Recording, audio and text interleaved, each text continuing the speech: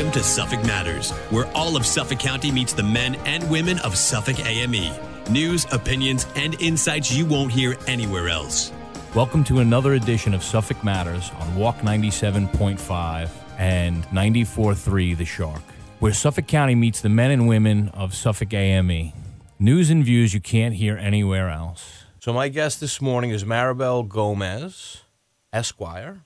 She's an executive board member of the Long Island Hispanic Bar Association. Good morning, Maribel. Good morning. How are you? I'm doing well, and I'm glad you took some time to join us today. You know, there's so much I think we can talk about, but I think first and foremost, uh, we should do a little introduction about yourself. Just let us know a little bit of who you are and what it is you do. So, uh, my name is Maribel Gomez. I'm an attorney with the law offices of Gray and Gray right here in Farmingdale.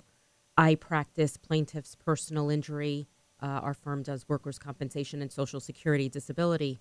In addition to that, I'm also the treasurer of the Long Island Hispanic Bar Association, who is a group of uh, Latino attorneys uh, whose mission is just to advance the Hispanic community and the uh, Hispanic attorneys as a whole. Sure. So not just professionally, but the but the full Hispanic community and and and represent their needs uh, in a legal capacity. Correct. Yeah. We, you know, uh, our goal is to support and educate the Hispanic community in whatever their needs are.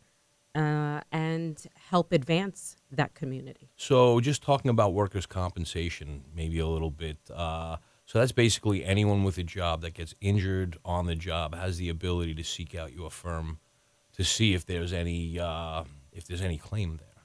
Correct. So you know, generally when you get injured on the job, um, whose fault it was really doesn't matter. Right. If if you're injured and you're in the course of your employment, you're entitled to certain benefits uh, under New York State statute, the workers' compensation laws. In addition to that, you might also have a lawsuit against a negligent individual, and that's the area of law that I really practice is the personal injury portion of it. Um, in conjunction with those two things, if you are out of work for extended period of time and you have a, a disability, you may qualify for Social Security disability. So our firm really handles all three aspects of a case surrounding any work-related or or any injury whatsoever. Sure, and you know, I think it's important to understand that these, you know, these functions, you know, what your firm does, uh, you guys are experts in an area of the law that uh, most folks don't understand. I mean, some people can get injured at work, never lose a day of work, uh, but have sustained an injury at work. You know, maybe I don't know, eye strain, some sort of wrist pain from repetitive motions or whatever else, and they're working and they're working, they're working. They don't realize that they can actually come see you guys and get help with that stuff. So, uh, to that extent, there are probably a number of injuries that you know would immediately come to mind, like I need to see a workers' comp attorney. But there are a number of other areas where they wouldn't even think that they could go see a workers' comp attorney, but they could and should. Yeah, sure. I mean, you know, when you think of an injury, especially one at work or, or something like that, you, you think of the happening of a specific event, uh, something falling on you, you falling off of something. Right. Uh, but you never think of the occupational hazards that can arise from those work related uh, jobs, uh, Sure. tasks. Um, hearing loss, vision the loss, big one. Yep. things things of that nature uh, that people really don't think about often, but are work related injuries that uh, deserve compensation. Yeah, and so anyone listening, if you have a job and you're working and uh, you feel like there may be some sort of injury related to your job, I mean, what you should do is seek out an expert. It is uh, a difficult, complicated law, and there are specialists that deal specifically with this. And I appreciate you shedding some light on it. Thank Yeah. you for uh, having me.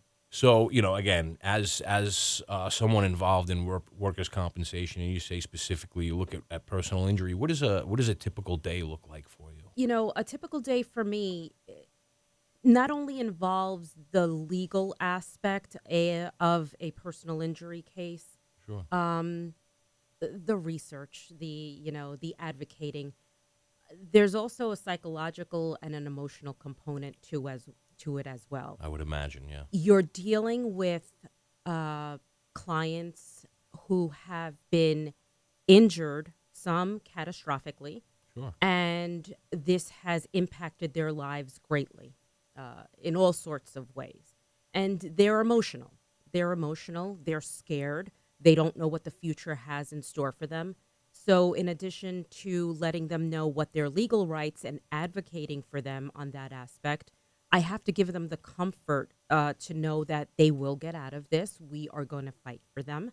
And um, hopefully, it will be a successful outcome for them based on the law. Sure. And I think, you know, folks having managed expectations in that way, coming in, seeing someone, talking to them, and getting a real sense of what's going on, what may or may not happen, I think that takes a little of the mystery out of it. And I think that uh, goes a long way to helping someone focus on, you know, recovery rather than, you know, stressing over the legal aspect. Well, yeah, uh, absolutely. I mean, you know, they, like I said, you have to give the client a comfort level so they can, you know, they can focus on their medical treatment and their recovery. That is their goal. I, you know, I tell my clients all the time, your job is to get better. My job is to look at the law and apply the facts of your case to the law to get you the best results possible.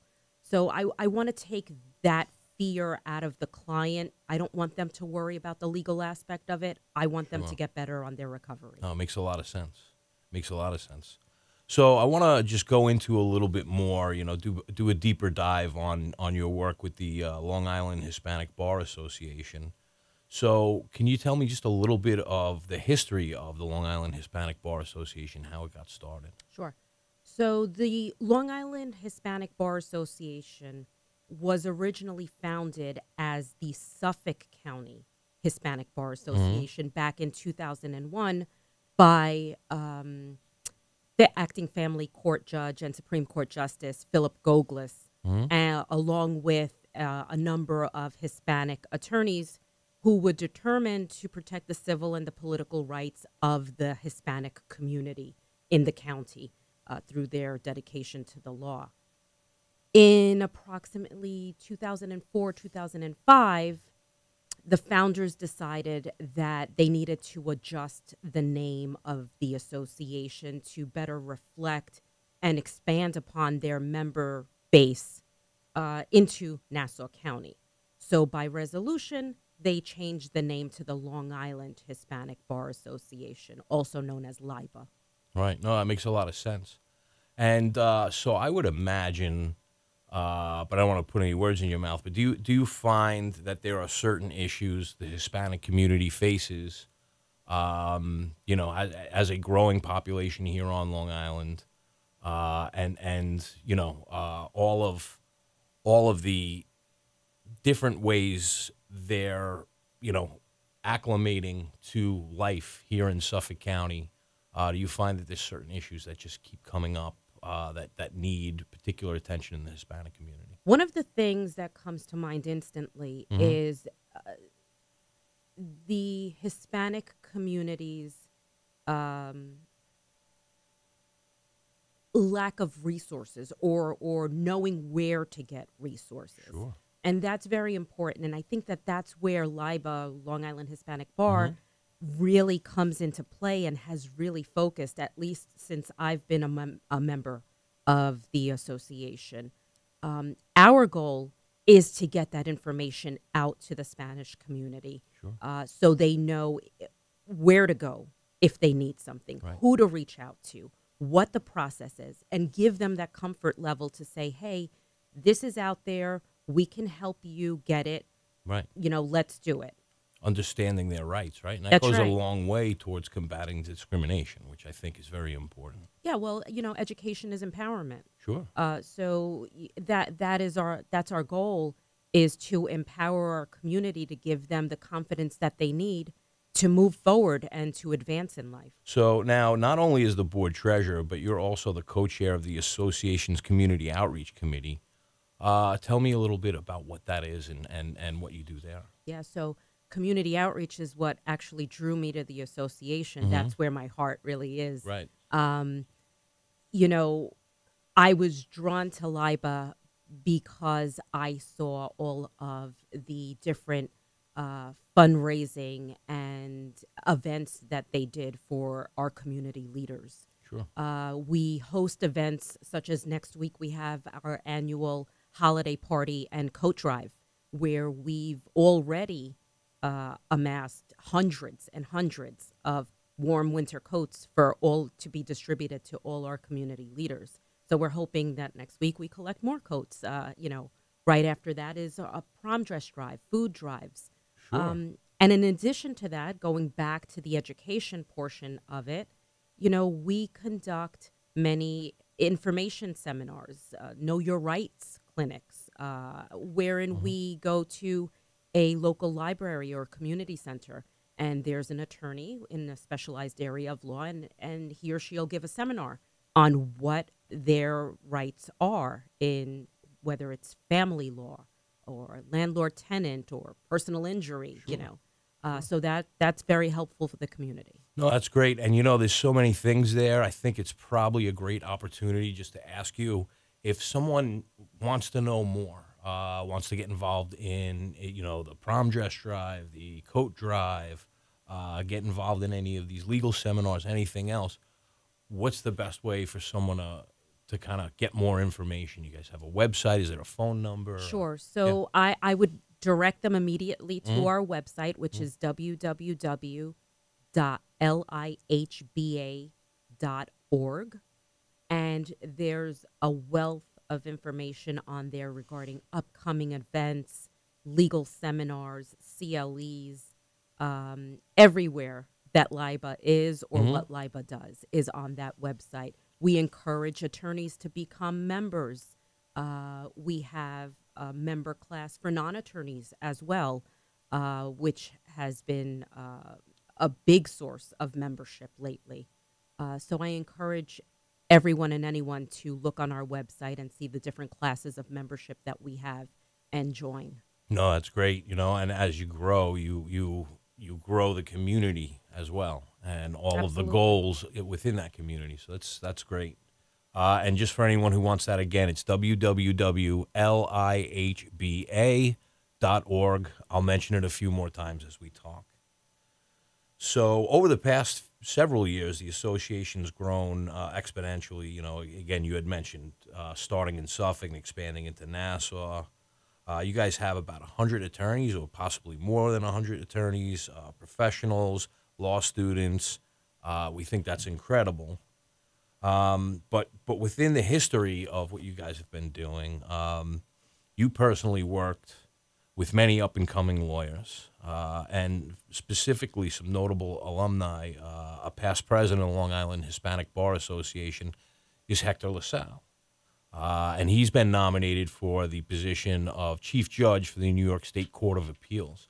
And I wanted to talk to you a little bit about that because this is now someone you know you've worked with and that you know, and this is something that's ongoing in the news. And you know, I'm I'm on uh, the labor side of things. You know, looking for looking after working people, and some of the folks in the labor community uh, very much love this appointment, and other people don't. And I just wanted to I wanted to be able to spend some time with you just to get an understanding of, you know, who who you know um, Hector LaSalle to be. So, you know, first and foremost, uh, I'm I'm honored and I'm proud to be in the presence of such great leaders from this organization and and jurists, especially of Latino descent. Sure. Um, Judge LaSalle being one of them. Um, I'm immensely proud of that. And, you know, what I will say about Justice LaSalle is that I know him to be true to himself. I know him to be an advocate of the law, and I know him to apply the law fairly and equitably.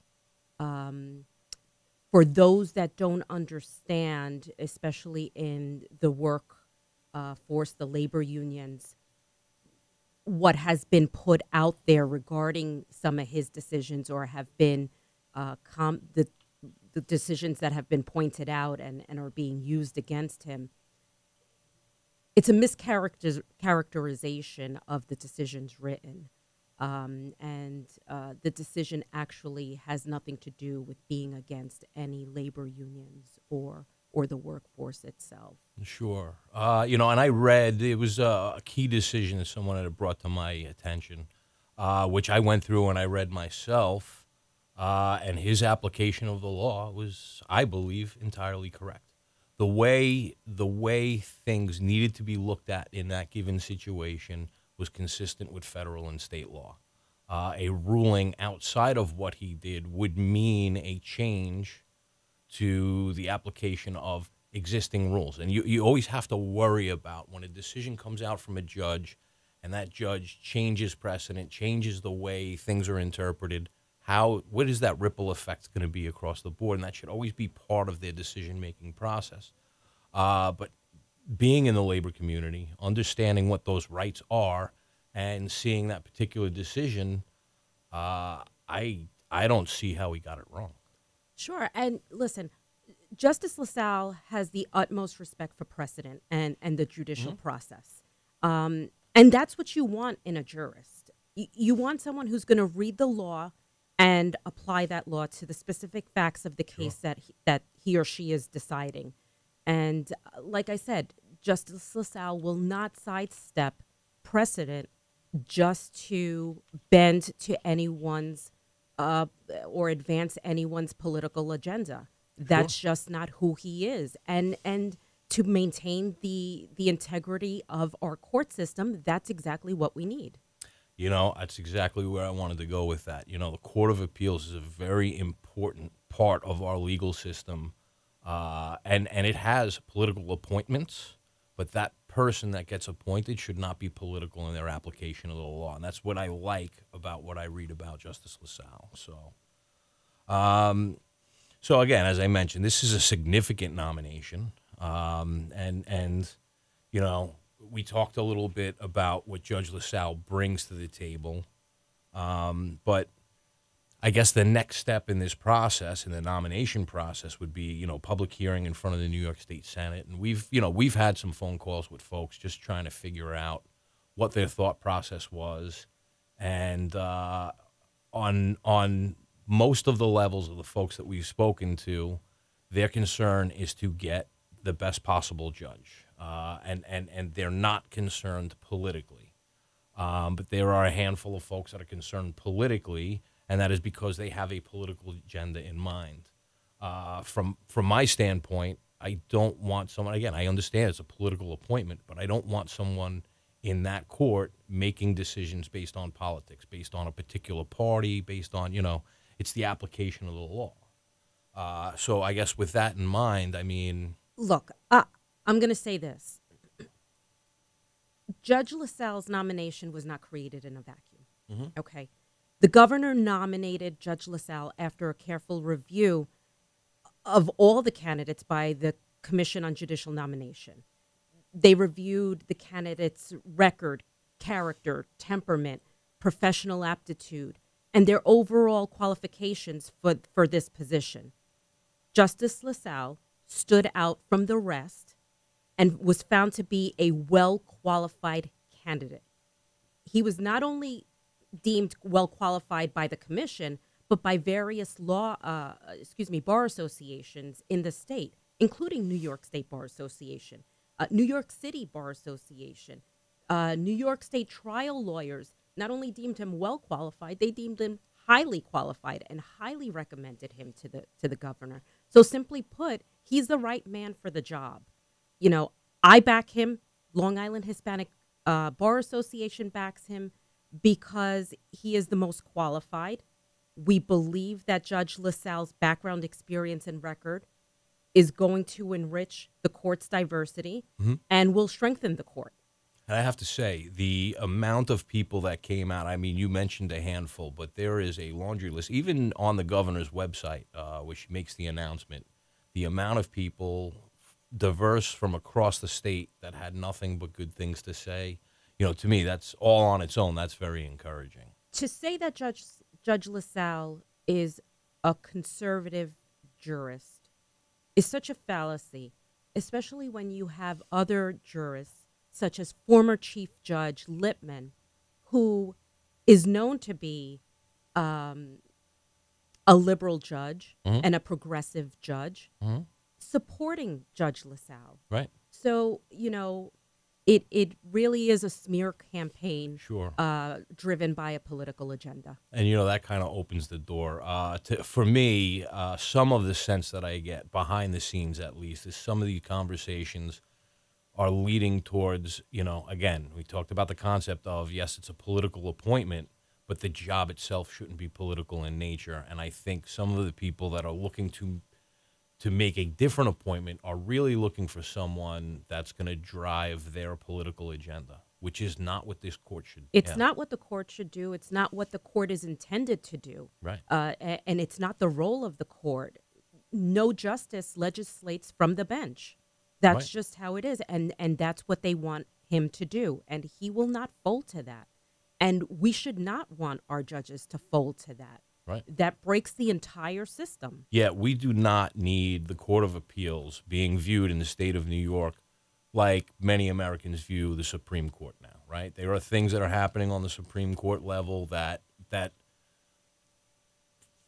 true or false, I don't want to speculate one way or the other, but the popular perception is that it is entirely political in nature, and New York State Court of Appeals should not be that way, should not be perceived that way. Uh, folks trying to steer things in a particular direction to achieve a particular political outcome, that's not what this process is about. This is about serving the people. It's about serving the law and the law the way it is. That that's exactly right. That's exactly how it is. That's the way it should be. And if you don't like the outcome, you have options. We have a system Of in place for that. Of course. There is a legislative process in place specifically for that, but that's not the role of the judiciary. I agree. I agree. And listen, you know, the the types of cases that end up in front of this part of the court, you you, you really want stability. You want the current application of the law, like you say, not not legislating from the bench. Uh, so again, uh, politics aside, you know, uh, folks with particular agendas looking for particular outcomes. Uh, the the research that I've done uh, shows shows to me a justice that's going to be fair in his application of the law, and that's what I think the people of New York State need in this appointment. So, Absolutely. so I guess you know, let's let's speculate. We'll move to the future a little bit. You know, there's always a little bit of heat with some of these things, right? Uh, and and the process will bear out. But I'm going to assume uh, that this appointment's going to go through. And with that in mind, it's it's a crazy question to ask someone, but you know, this person that you know, what advice would you have for them uh, when they're appointed and they're in and they're and they're doing their job? I would be remiss to say that I have any advice or words of wisdom for someone who I respect so highly and I deem so knowledgeable. Um, however, with that being said, from a personal perspective, I Sure. would say that um, I would tell him to stay the course. I would say, I would tell him that at the end of the day, that all we're left with as individual people is our integrity Sure. and uh, we are so proud of how he has represented the Latino community and how far he has advanced the profession um, as a whole. Right. Uh, he's done a phenomenal job. We, sup- I support him. Liba supports him, and there's so many others out there that Sure. support him. Sure. And you know, uh, it's it's worth saying, you know, while being from Hispanic descent, uh, this is this is an excellent judge, right? And and being Hispanic happens to be an aspect of what he That's is. that's just the gravy on top. Right. That's just the gravy on top. Uh, you know, as as I mentioned before, it's about the best man for the job. Right. Just Justice LaSalle's not only his record and his experience speak for themselves. We're talking about over 5,000 cases that he's presided over. Sure. Okay. Out of those 5,000 cases, only a handful were cherry picked to try to Of course, smear him. of course. So, you know, I challenge, you know, these, the opposition, let's call them, Right. To go through all 5,000 cases and really give a full rendering of what his decisions really say Right. and and how and let's see how conservative they actually think he is There are a number of decisions. People versus Benitez is is one specific case that comes to mind, Right. where Justice LaSalle, uh, you know, overturned a conviction on on prosecutorial uh, misconduct, Brady violations. He, I mean, he's all over that stuff. So to say that he's conservative, uh, again, it's just an outright lie, and it's just a smear campaign. Well, I, you know, listen, on political narratives, we've seen this, you know, we've seen this forever in this country, but, you know, I've dealt with it specifically over the past decade or so. Uh, when when they're driving a political narrative, they don't want to look at the full story and they don't want to complain about the truth as it is. It is a cherry picking. It is a, you know, we want to make a particular case. We want to be able to use these talking points, find the cases that allow me to make those, you know, make Sure. those claims. Uh, but again, when you look at the body of work, it tells a very different story. That's right. And and you know, we could we could do that with any jurist that we have. If we went through uh, a number of the the judges that we have on the bench and went through each and every one of their case, we could cherry pick too.